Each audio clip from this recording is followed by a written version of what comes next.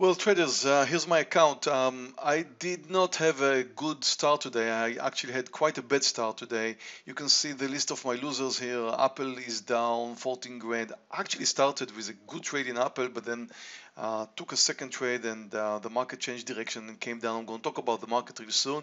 And uh, Tesla trade, my first trade was a disaster. My second trade was a winner, but still finished in red. Uh, MIC was wrong. Boeing was very nice trade. ZM was amazing, and Nvidia was quite okay. So I'm gonna finish up $1,700, uh, which is an okay day. I mean, it's green, but if you take a look at the numbers here, you can see that I could have easily been down quite a bit. I'm going to talk about market direction here because I think the market direction is the key to everything I did today and I did notice that a lot of you guys are not really giving good attention to what's happening with the S&P 500. So let's talk about market attention, market direction right now. So take a look at the S&P 500 because I think uh, it's very important uh, that you realize what you should or you shouldn't do when you watch uh, the S&P 500. Uh, first, you need to remember that, uh, you know what, let me start with the daily. I'll start with the daily. If you take a look at the daily of the S&P 500, you can see the recent coronavirus crash all the way from the top to the bottom here, and then the pullback that we experienced in the last two weeks. And uh, we came down a bit, approximately to the middle of the pullback range. and now comes a big question. Look at this 255 SPY area. If we're going to move over that, then it looks like uh, quite a good long opportunity although I did mention that usually when we have great crashes like this it usually does not end up in one big pullback you usually expect a second big low. And I don't know if we're going to see that or not but uh, technically speaking we should. So be prepared to a new low um, and if it does come, and, and, again, we're going to trade the market as it comes. If it moves higher, we're going to join the market. If it comes down, we're going to join the market. Just be prepared for another new low. So the two interesting points on the daily now is to watch if it moves over 255. That should be interesting. Or it comes down under this uh, 244 area. And that should be the point where we should take our shorts very seriously again and uh, like you know all in shorts. That should happen somewhere around here 244 and I think the next week is going to be a very very important week uh, to notice whether we do come under this or we move over this 255 area. That should be very very interesting. Now um, having said that let's take a look at uh, the intraday again. We did have a strong upside day yesterday and this is quite understood that we're going to pull back down a bit at the day that follows. Right now the S&P is down 0.85%. That's a very small pullback really and that's an okay small pullback compared to what we did yesterday. So we moved up yesterday and therefore the market could stop right here and uh, just play around this area and maybe even come up. You know, it is a Friday today. We need to remember that. So if you put everything together, I don't trust the market to continue lower. If I would have trusted the market to continue lower, I would have kept my Tesla short, my Boeing short. I will not reduce my ZM short and my Nvidia short. And I would just keep riding to the downside, hoping that the market is going to continue. But uh, it's just a small pullback so far and uh, usually when you know when uh, on, on a regular on regular times when we trade this is not a small pullback. Uh, one uh, down like wow we've got the market down one percent. It's not. It's it's it's it's times which are totally different and therefore uh, one is like nothing. So and it is a Friday, so the market could stop here. So I don't trust the market to continue. So why did I take my shorts earlier? Take a look at the market here.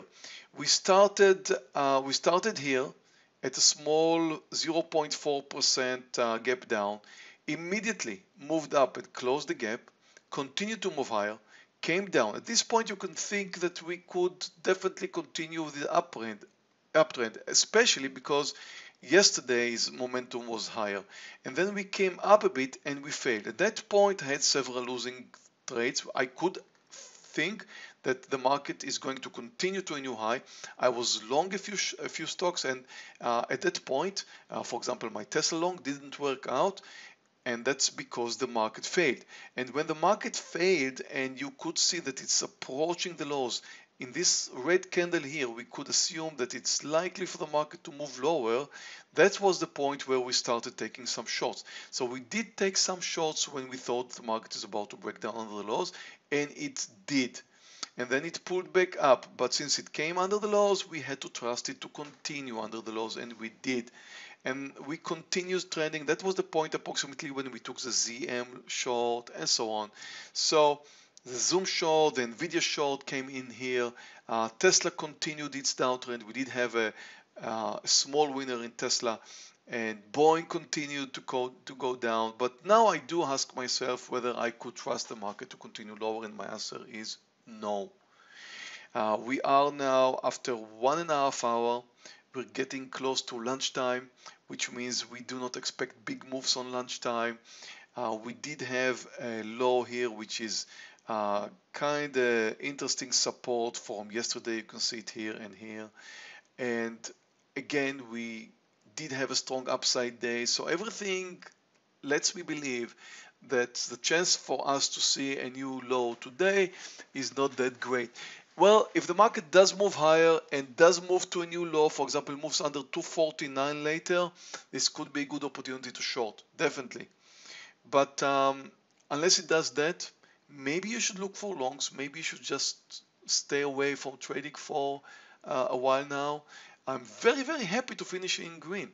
I was down quite a bit today and I managed with some good trades to come back to green territory because I was expecting the market to go under the lows and I was right about it but right now I don't have the same expectation I don't know where the market's going in my opinion to continue trusting the market to continue its downtrend would be um,